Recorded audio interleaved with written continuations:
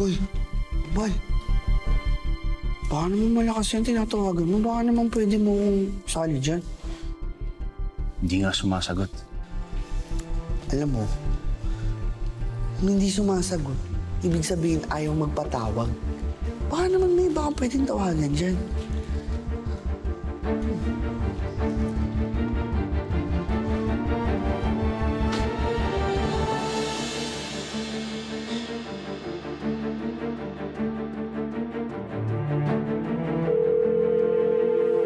Eros, nasa presinto kami. At ano naman ang ginagawa mo sa presinto, Ante Soy? Dahil sa nalaman ko tungkol sa Eusebia. Eusebia,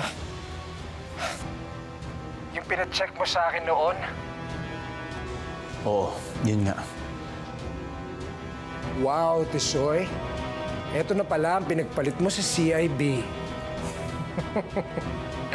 eh, hilyoso ka pala. Dito ko na lang kukwento sa'yo lahat. Matutulungan mo ba ako? I got you, Tisoy. I'm already on the way.